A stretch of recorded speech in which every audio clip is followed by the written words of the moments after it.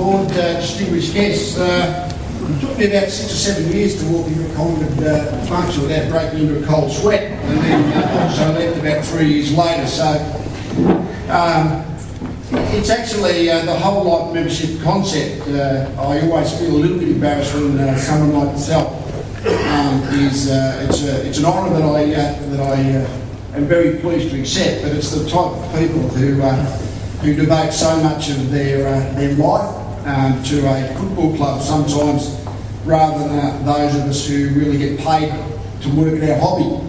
Um, and, uh, and we uh, tend to, if you're involved with football for a long time, the clubs that you're so much part of your being uh, for a period of your life become an opposition for another part of your life. So I guess from this point of view, we can just hop back in the time capsule um, a fair few years. Uh, my, uh, my time at, uh, at Collingwood was 10 of the most stimulating and exciting years. Um, we were fortunate enough to have that window of opportunity for a few years there from maybe 98 to to 90, uh, 92, sorry, uh, I get my years mixed up, from 88, of course, to 92. For about five years, we were able to win the one premiership. Uh, I always think that uh, uh, clubs last forever, individuals are just transitory through the club, uh, through the club system. So the time that that I spent at Collingwood, the final ring with the playing part finished when Scott Burns retired. Uh, he was the last player that played in 1995 when I was uh, still coach. But uh,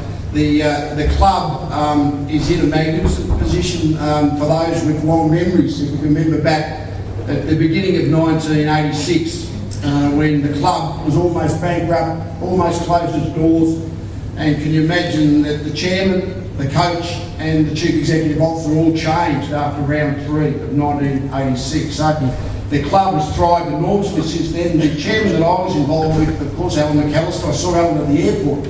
Just coincidentally on uh, on Sunday when I was coming down from uh, Brisbane, we arrived at the uh, same time he'd been on holidays, and uh, Allan was a fantastic chairman.